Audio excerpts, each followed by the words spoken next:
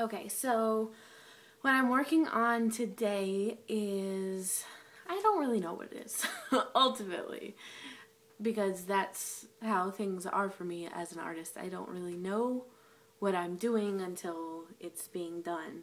What I do know is that sometimes things really stand out to me and I don't know why and they sort of stick in my psyche and is sort of in this giant melange of things and I somehow put them together. So this piece, whatever it shall be, began actually about a year ago, I think. When I was reading through a magazine, I was doing a bunch of collage work at the time, and I found these images and they were so vivid, I suppose is the best word. They really stood out to me. And so these are the images. You can see it's all about capitalism. It was in I don't even remember what magazine, but something like Adbusters or something that was very, you know, sort of anti-capitalist and avant-garde and all of that. And so I loved the colors, first of all, the sort of uh, kind of the almost kind of Tiffany blue, but that they used the Coke bottles. They stood out to me so profoundly. This is actually from a different magazine, but I sort of started collecting these images of Coke bottles, and there was something about the bottling process, something about that very mechanical industrial process. And I think bottling in and of itself, right? Sort of this, this filling of things and sealing and packaging of things that was very intriguing to me. And so I saved the images. Needless to say, they were in a stack. I have stacks of magazines that, uh, pictures from magazines that somehow inspire me or draw me to either poem or art or collage work. So I had this in my ether uh, from about a year or so ago. Then I was doing a glass project for an installation piece I'm doing at CSUN, and so my brother, it was his son's birthday party, and they happened to have some Coke bottles, and they're these little eight ounce Coke bottles, the little ones. Uh, they're kind of hard to find. They're from the old Coke machines. got them at Vallarta because they were cheap and they had them. So Anyway, they're the old-fashioned Coke bottles, and they had them at the party. It was a sort of circusy, vintage, really cute little party. And so they had cases of these. And I was like, hey, you know, I'm doing this glass project. Could I possibly use the bottles? Well, they said, of course, sure, we'll save them for you. I'll drop them off at the house. I was like, great. So I have all these Coke bottles. Well, turns out the way that the labels are, they don't they're not the stickers, right? They're actually printed directly onto the bottle, which makes glass fusion difficult because you can't have anything else on the bottle glass because it doesn't, you know, really happen well in the kiln. So I was going to have to grind them all off. So I was a little disappointed about that because I really love the color. It's it's that kind of really cool blue-green color.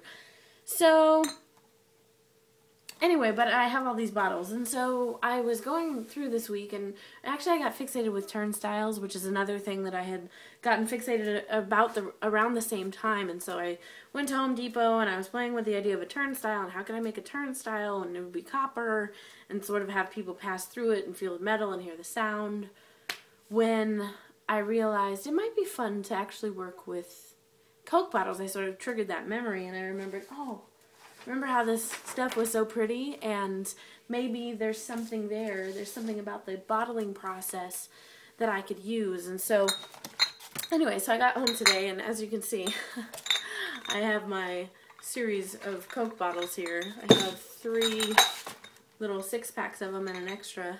So I think I have 19 but I'll probably break one so it'll be more like 18 and I'm just to kind of see what happens. So the the first thing I was sort of thinking of was almost doing like a mousetrap type thing where you build sort of a mechanism that would move the bottles through the machine, but also using other size bottles. So, for example, like this wine bottle, obviously, if the system was built to work with those little Coke bottles, like you can see, they're not quite the same size nor the shape nor anything. And so I feel like in that sort of implicitly there's a critique sort of of systems that are built for one size person or color person or shape person.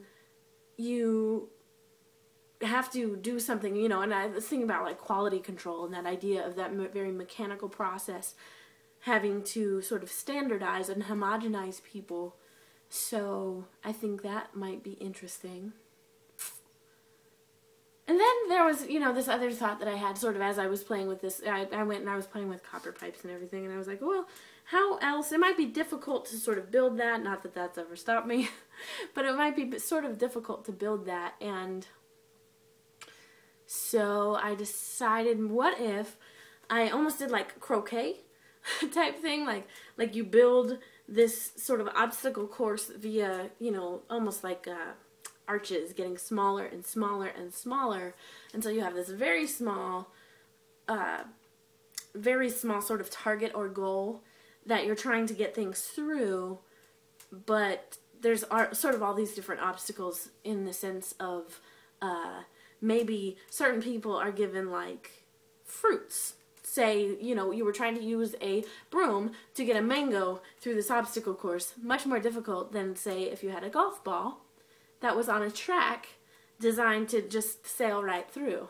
right? And so, obviously, the golf and the white ball and all of that is sort of a nod to the fact that, right, like, white, who, you know, who plays, who plays golf? Large majority of, you know, men, right? It's more men than women that play golf um, it's businessmen who play golf, and they're the ones who are sort of batting around these giant balls, having to deal with all of our lives.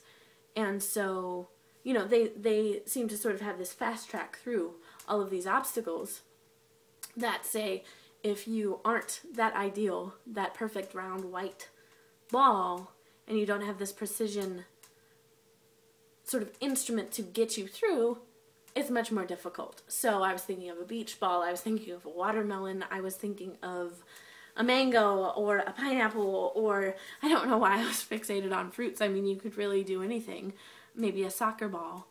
But I didn't want to knock anything over. So anyway, and I was thinking about what I could make these sort of arches out of and actually thinking of tailoring it specifically to the people in my class and you know what what might each person be represented by or maybe have them each bring something to be represented by and then maybe somebody doesn't get a stick at all right um, and obviously it's commenting on layers of access and the ability to get into these places or have access to certain areas and really that's sort of what the turnstile is all about also it's about the sort of systemized access that's given and not given.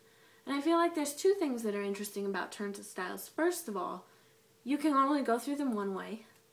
And second of all, that they're designed to go one person at a time. Right? So there's both this isolation that happens and this very unidirectional type of channeling.